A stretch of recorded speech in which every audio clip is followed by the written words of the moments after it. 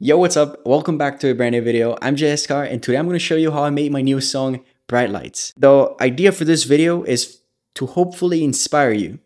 I'm not here to brag about the whatever sound design or like the expensive plugin that I'm using. None of that matters. As you can see in my studio, I'm not, this studio right now is all I have to make music. I'm not using any expensive analog equipment. I'm using computer, audio interface, which I rarely use, and headphones. And that's it. I'm really hoping that once this video stops, or even before, if you're already feeling inspired, pause this video and go and make music right now, or do whatever you, you're passionate about. Because I know not all of you are producers. Anyways, how did this song started? It's, it's actually a very straightforward story. This song started off thanks to a Swedish House Mafia ID.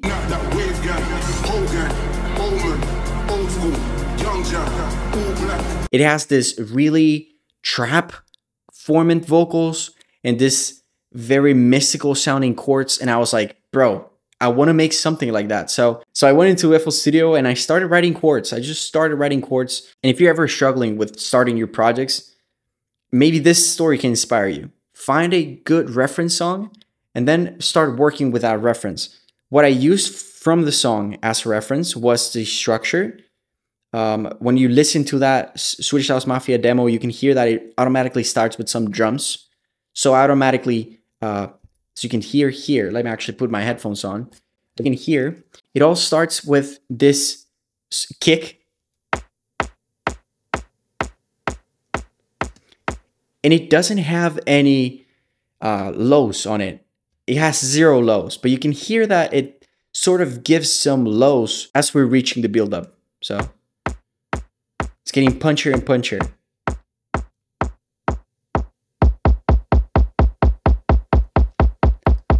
Yeah, as you can hear, the build up has a ton of low frequencies. And then it rolls it off. I knew that I had to start with drums, so I started off with a kick, then I put in some hi-hats. Almost, almost like a techno kind of hi-hat. And then I put uh, there's another hi-hat here. There's another hi-hat. And then there's another hi-hat.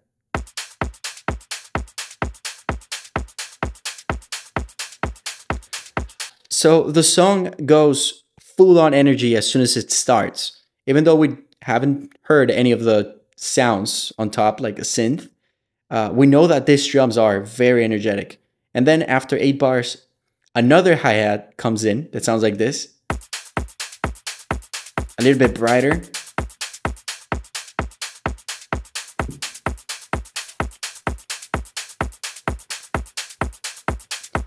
Mixing wise, there's nothing crazy happening, just an EQ on everything, you know, getting rid of the lows.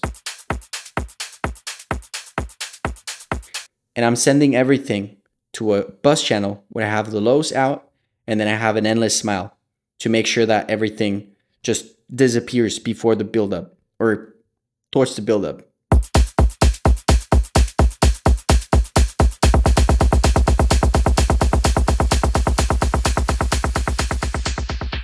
Once I had this done, or like the, the jumps at the start, the ones that are creating a lot of tension, I started off writing some of the chord progressions. And the chord progression, one of the plugins I ended up using a lot, and I'm actually using it on every single plug, every single song now. It's called the Prince by Cradle Audio, and this uh, preset called Bump Staircase ended up being perfect for for what I was doing, which sounds like this. This is basically the main synth of the song. And if you listen to this chord progression, sounds like this. Let me show you.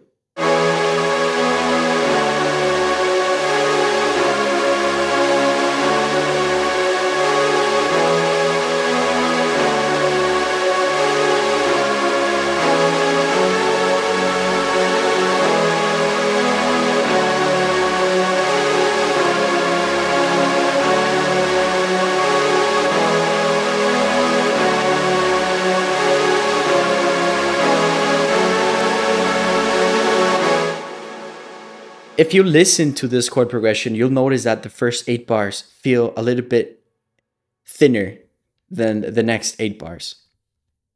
And that's because I'm adding some extra notes. Well, the first thing that I do whenever creating a chord progression is start off with a bass progression that you enjoy, and then find a single note on top of that chord progression that makes sense. In this case, I found that C sharp really sounded or sounded really good with this bass progression. Let me show you, for example. I'm just gonna get rid of every note that I added. Sounds like this. If I add the C sharp,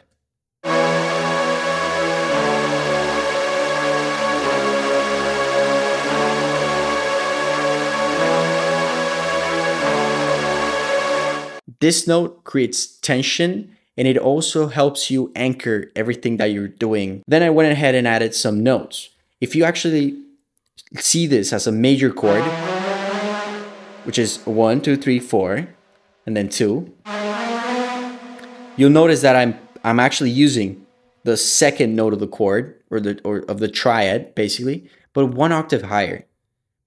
Because over here it just felt like yeah, it didn't it, it wasn't as cool, you know? So I'm using it on top. And instead of using the third or the fifth, I don't know, I think it's the seventh, the seventh note of your chord, I used it only half of the time. So it, this creates some sort of movement or whatever, added some really cool feel to the track. So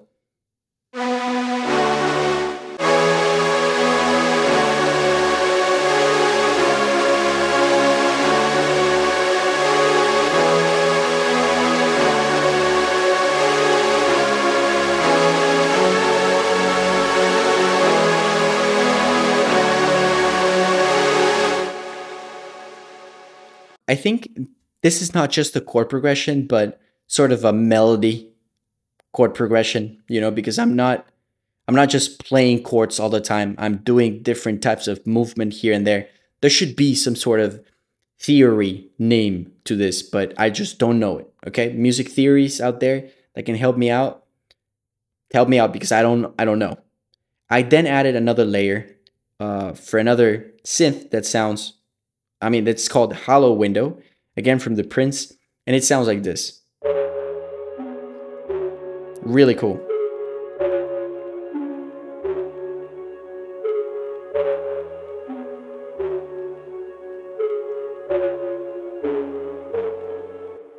The thing I end up using the most with this, uh, the Prince plugin, is actually the noise filter or noise uh, oscillator, whatever it is because you can choose from six type of noises. I usually just use the fifth noise and I put it really low in volume, but it creates a lot of uh, texture to whatever you make. So let me actually show you.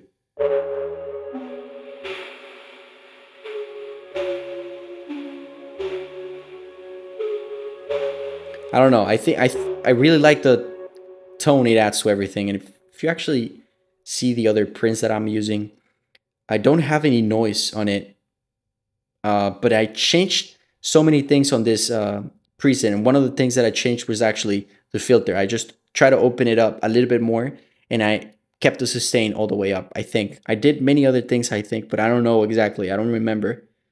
Um, and I mean, what's next after creating this chord progression? Uh, I create a bass line. And the bass line is super simple. It's actually just following the same bass progression as chords. Duh, kind of simple. And the sound that I'm using is the Prince again. I'm using a brass preset for the bass and it creates such a really good vibe. It's, I don't know if it sounds analog. Let me just play it.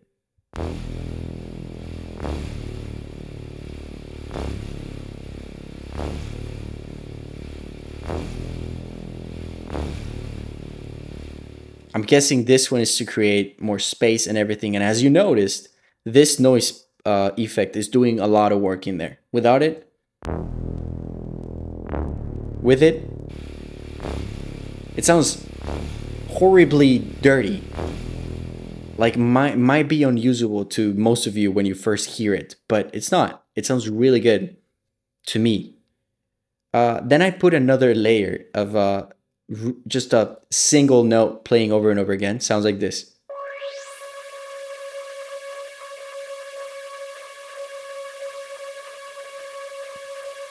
And if you can notice, it's actually a very similar preset from the one I'm using for the main sound.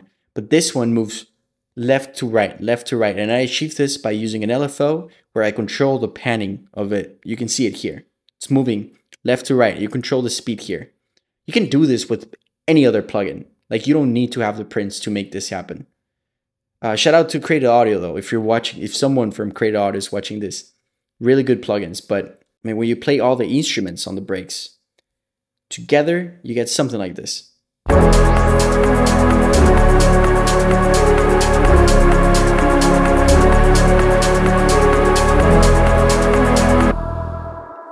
If you're wondering what I did to this synths, etc., I'm just getting rid of the lows and the highs for most of them. Some of the highs for most of them, I mean, but mostly the lows. I'm just getting rid of the lows.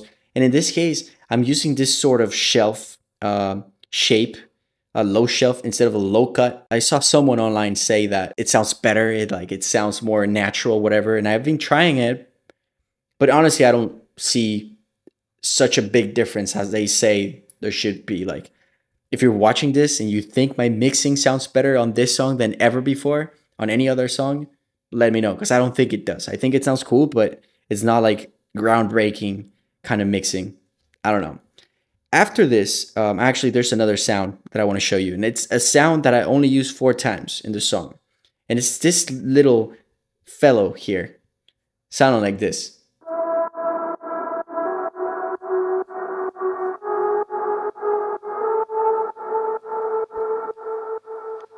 Okay, it might sound basic, but once you add a pitch automation, it sounds like this.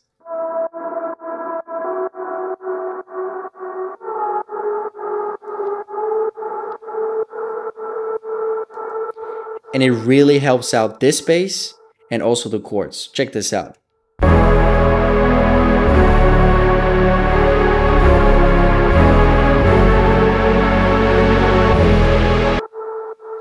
it it sort of helps me or helps the track go from the breaks to the build up and then on the drop I also use it again. So it helps you get out of the drop again towards the second build up and so on. It's a very very simple sound it's very distorted without any effects sounds like this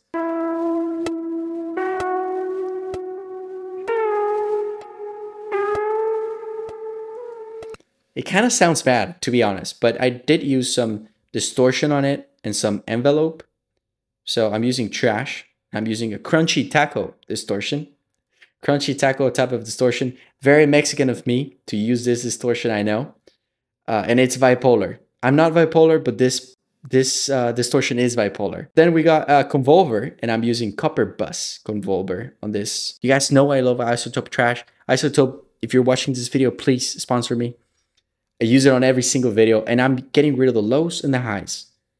And afterwards, I'm using an Endless Smile, which I always have on. Endless Smile creates ambience. It's sort of a reverb, basically. It is a reverb, and I'm using it all the time. And I'm using a Kickstart, which I'm using on the drop. But I put all the volume down, and you get something like this.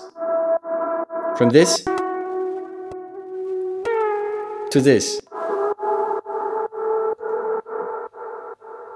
one of the ways you can make sure your sounds move to the back is by using reverb, using maybe a convolver, which is another type of reverb, and also getting rid of your high frequencies. So get rid of the highs, get rid of the lows. That's gonna make it go all the way to the back. Anyways, uh, that's it for the breaks. And it was important to me to mention this breaks because, like I said, I started off this idea because I heard someone else's music. I'm hoping this has happened to you with possibly one of my songs. I listened to that song, it inspired me so much, and I was like, I need to make something as good. I followed the structure using it as a reference. I made the chords and and I didn't have the sick vocals that they were using. So I was like, what do I do now? Because I, I I only had this.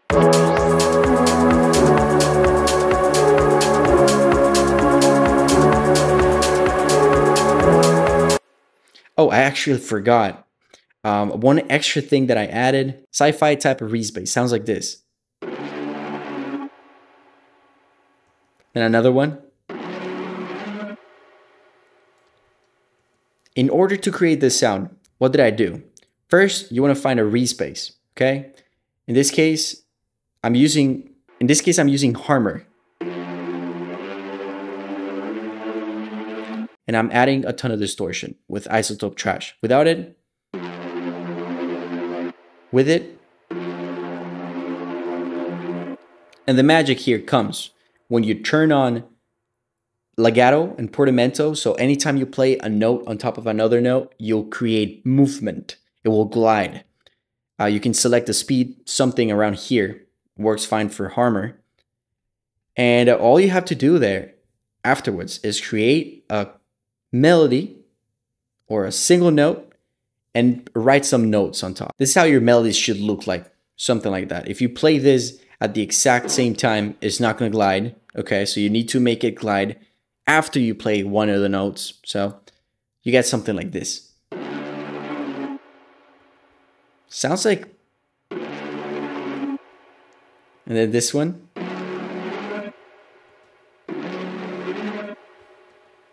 Sort of like a villain kind of thing. It's really cool. Once upon a time, I had a song with Nat James, which was actually trap, and it was called Bright Lights. Uh, I sent the trap track to Nat James, and he worked on it together with one of his friends. And they honestly killed it. And I really liked the song. I really liked the trap song, but it it I wasn't able to make it fit on my vision, you know? I think the song sounds really good, and if you want to listen to it, um, let me just play it. I'm gonna pretend that I'm playing it right now, okay? Just, so you can listen to it. Bright light, bright light bright lights. Bright lights, break lights, wait, I ain't in my right mind, quit, take cover like a bombing in the night sky blitz. Anyways, this was the idea, and it was really good. However, I don't know. I was working on this project, and then I, when I listened to the Swedish House Mafia track, they had some rap vocals on it, and I was like, if only I could find a rap vocalist that could do something like this. If only. And then I remembered. I have some Nat James vocals on my computer which I've never used, and I'm hoping he hasn't used them either. I don't think at the time he even remembered anything about Bright Lights, but uh, before I reached out to him, I actually started working on it. When Nat James first sent me this vocal for the trap song, it originally sounded like this. Bright lights, break lights, wait, I ain't in my right mind, quick, take cover like a bombing in the night sky blitz. When I heard it, I was like, bro, once again, based on the style of the vocal for the Swedish House Mafia track, what I ended up doing to the vocal was actually shifted down a couple uh, formant. So you can actually see here, you can use Stretch Pro to do this. And I just put it down 300 cents. When you do this, it turns your vocal into some sort of let me do it while we listen to it. Here's how it sounds with effects and everything, but here's how we do it this.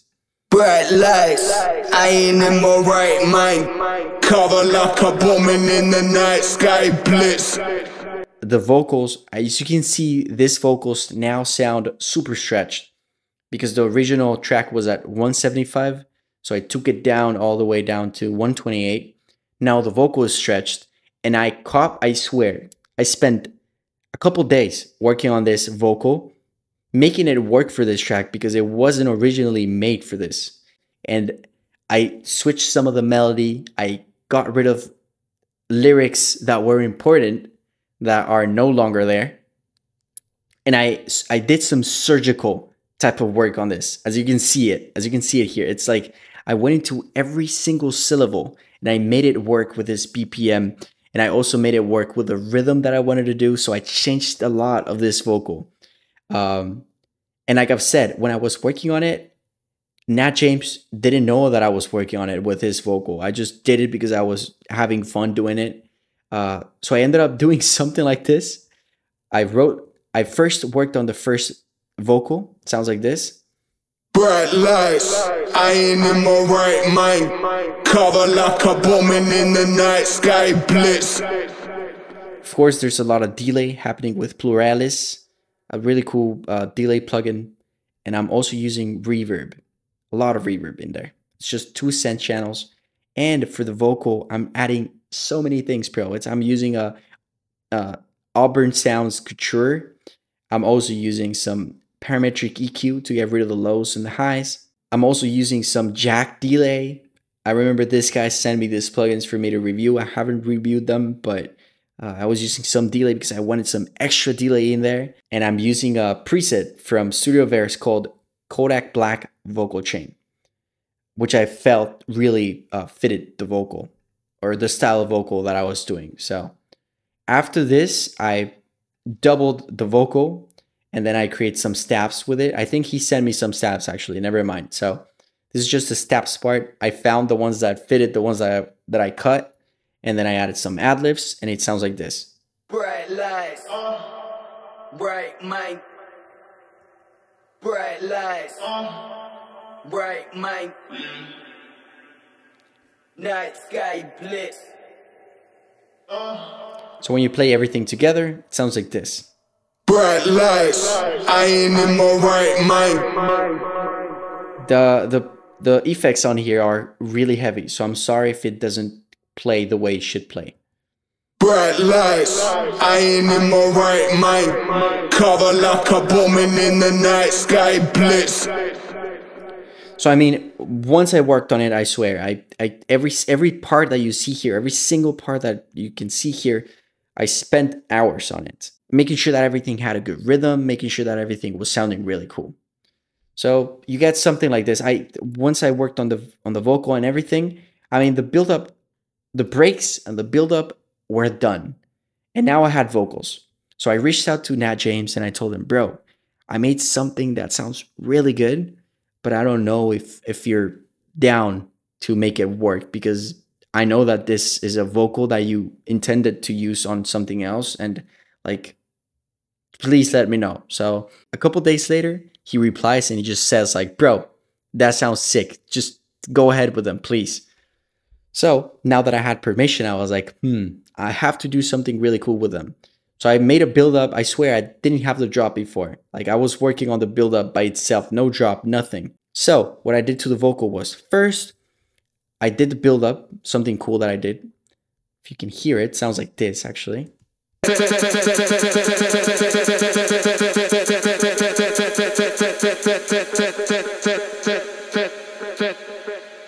case you guys want to know how I made this effect, first, find a syllable or some sort of word that the vocal says that you want to repeat. In this case, I found this. Then, then, It doesn't quite say anything, but that's the last phrase or the last word uh, on the vocal that I have, which is this. To the top of my percent. So I wanted to re repeat the last syllable of percent, which is just end, end, end. So what I did was first I made this unique and I dragged it into, you guessed it, Quanta. And now it sounds like this. Watch.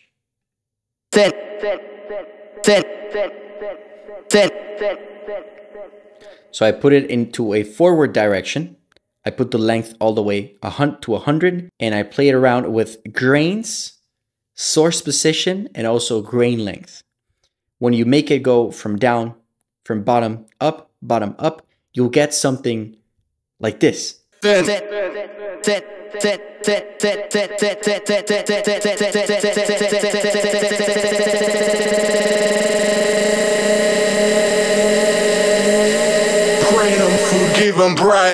Really, really cool idea. For the other up, I actually made a different type of automation, which sounds like this.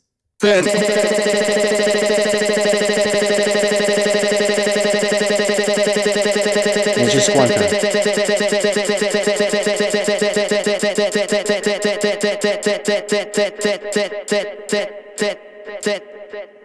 So now you know. So I made this vocal, everything was sounding super interesting, super huge. You can hear this.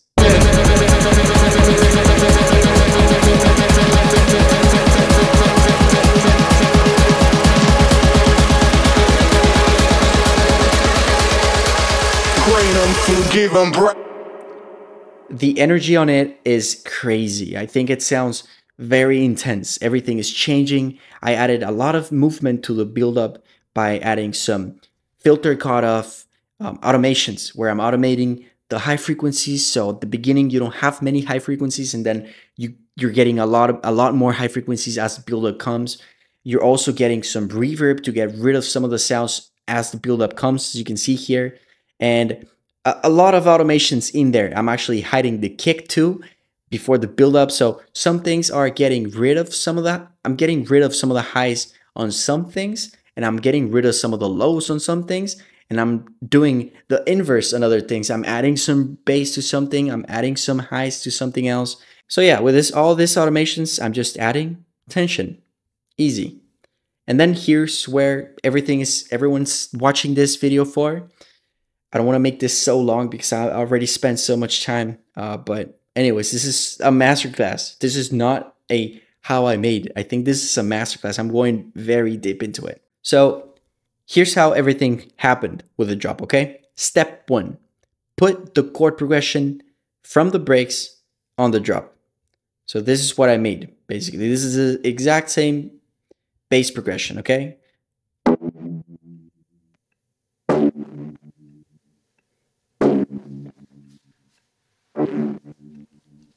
And what I did was, you're not going to believe it, but the drop is actually the, the main, main, main sound is actually the Prince again, and it's actually a layer of the Prince. It's it's three sounds. It's one of the sounds is called Last Wolf.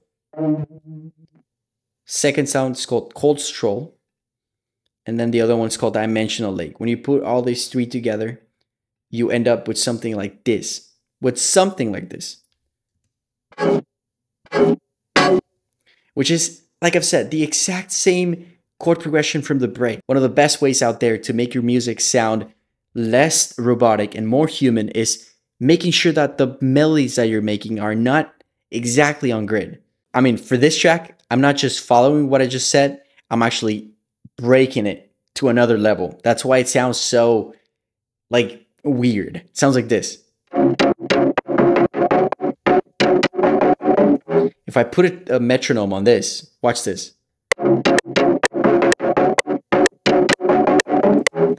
Anyways, uh, so this sound basically is three sounds. Second sound sounds like sounds like this. Third one.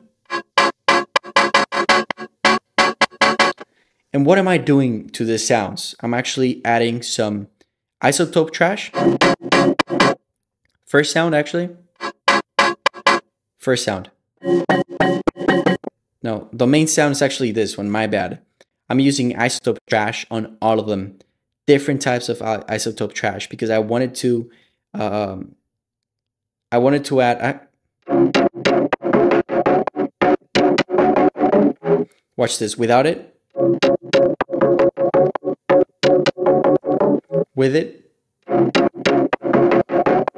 it's adding a lot of grittiness.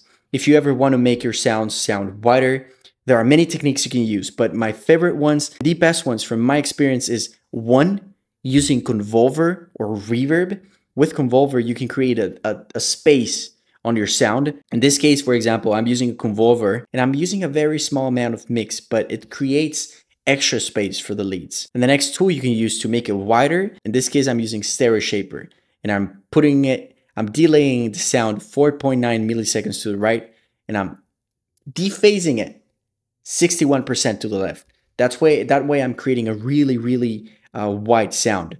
Without without this effects, you'll notice how small it sounds. Watch this. So without effects,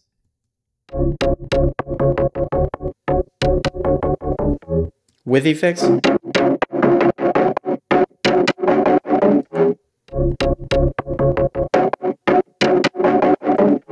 Easiest way to think about a convolver, it's a reverb without a tail. That's basically how I like to think about it. But overall, this is my technique to make it sound wider, you know?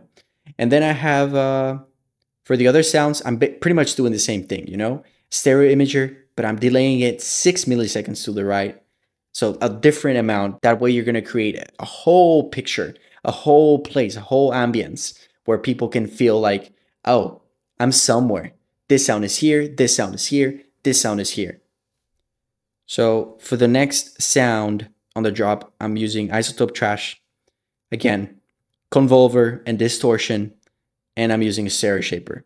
and I'm just dephasing it 51% to the right, making it really, really, really, really, really wide. And now after creating this main sounds, honestly, the other sounds are not as important, to be honest. These are the soul of the track.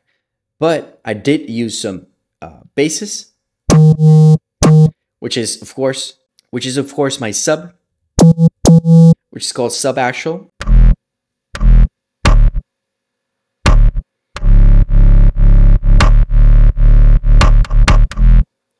This sub, again, I've been telling you guys, it's a sub actual. It's, and you can actually find this sub at store.jayeskar.com. It's on most of my preset packs, actually on the Future of House. You can find specifically this one, but I use it on all of my songs. Really, it's on every song I make, the same sub. And I'm using an extra lead, an extra bass from Evo Sounds, but it is not exactly as you hear it. Let me be honest. It, it's not really the preset. Without it, it sounds like this. Without any effects, sounds like this. See? But with effects, you can pretty much just use any any bass and you would get something like this. Um, but I'm using iZotope Trash. Again, I'm adding some distortion, hard chip distortion, some convolver, alum aluminum dust, condenser mic, and I'm using some dynamics on it to control it. So it's not like crazy attacky. Then I'm adding another bass, which is really wide.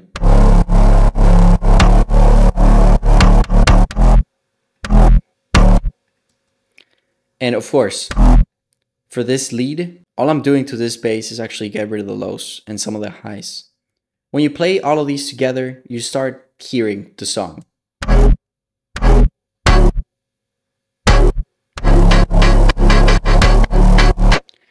But let's not forget about the white noise preset that I use. It sounds like this.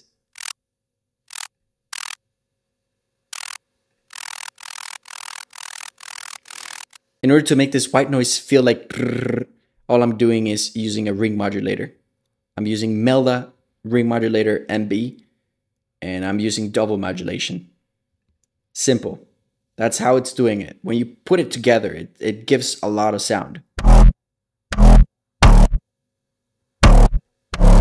without it.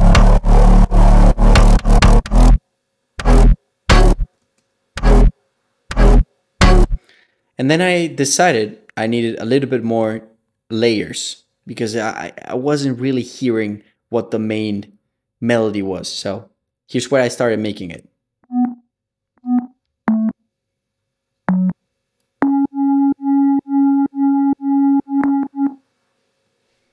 This is just helping adding some extra harmonics in there. So another lead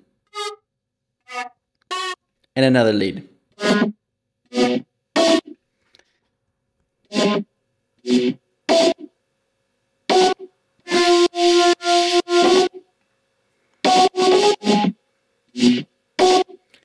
Basic shape, filter, white noise, distortion, and of course, iZotope trash. Without it, it sounds like this. Listen to this. Distortion. It's unrecognizable. Really, it doesn't sound like the same thing at all. That's why I've been telling you guys. iZotope Trash is my best friend. I do so much uh, sound design in here because it's just so cool. It just feels like its own program, you know? So I'm using a trash. Uh, I'm using convolver. I'm using filter here too to get rid of some of the highs. Um, and that's pretty much it. When you play these, play it with this.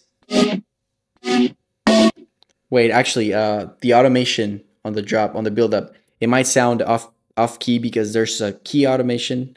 I mean, a note automation. And I'm sure it's disabled. So it's making everything sound a little bit weird, but it should sound like this now.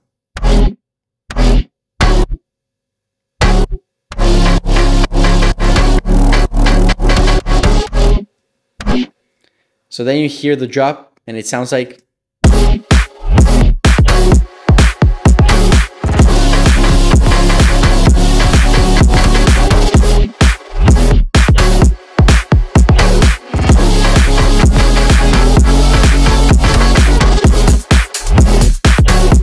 Okay, okay, okay. Let's not get too much into it. First, what else is there on this drop?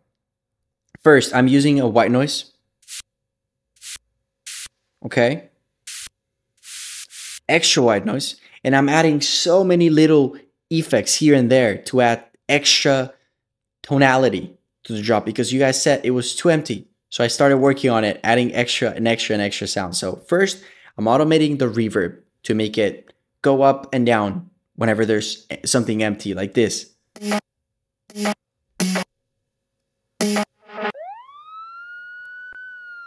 I added a police siren on this stop.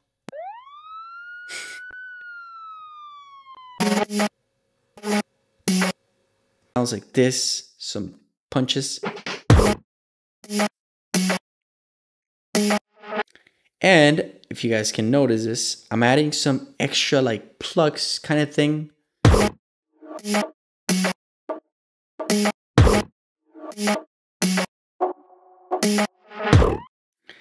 and I'm also, also, I'm adding this little effect. Watch this.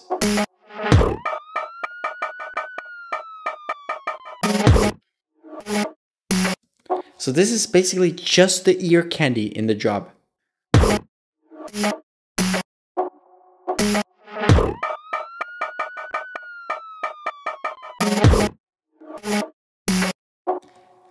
Once you add the leads,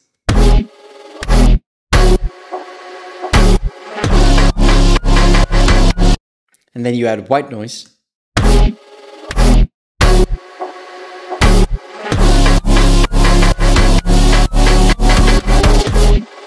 just listening to the ear candy sounds like this.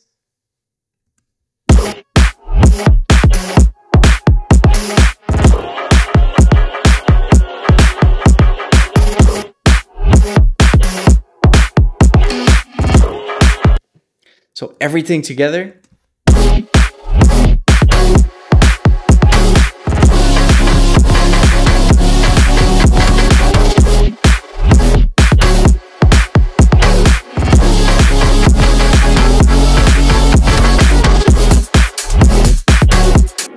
Personally, I really, really like this track because it made me challenge myself into making something basic sound full. Uh, if you listen to the breaks, it's something basic. And it made me get out of my comfort zone because I'm not, you're not used to hearing EDM that is not following the grid. Everything on EDM is so robotic most of the times. It's just like boom, ba, boom, ba, boom, spun, boom, spun. Everything is, everything is always on beat. For this track, I try to put everything out of beat. Some people don't like it. I've seen a lot of comments. Actually, not a lot of comments, maybe one or two. but they feel like a lot of comments, okay? It's hard. I see a lot of comments saying like, "Oh, I don't like the B part because it's so weird. I don't understand it." So, I don't know. I like it, and that's really all that matters at the end of the day. You're making music because you you want to release the music you want to listen to, and this is something that I want to listen to. Something that scratches my brain and makes me feel something that Nothing else does. Nothing, nothing else is able to make me feel what I feel with this song. Nothing. There's not a single track that makes me feel the exact same thing. So that was my goal with this. I'm hoping you guys are feeling something similar with this. And jumps wise, what can I tell you guys? the same kick as I always use, the same similar claps, and I'm using an extra kick. That sounds like this. Let me just play the kick, the clap,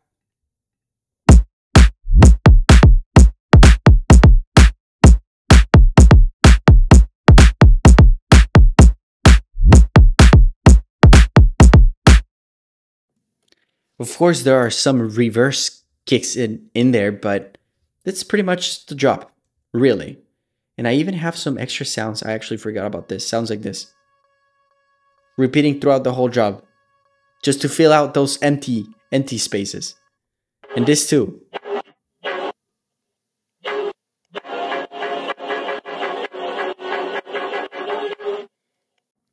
I think that's it. I think that's pretty much it, to be honest.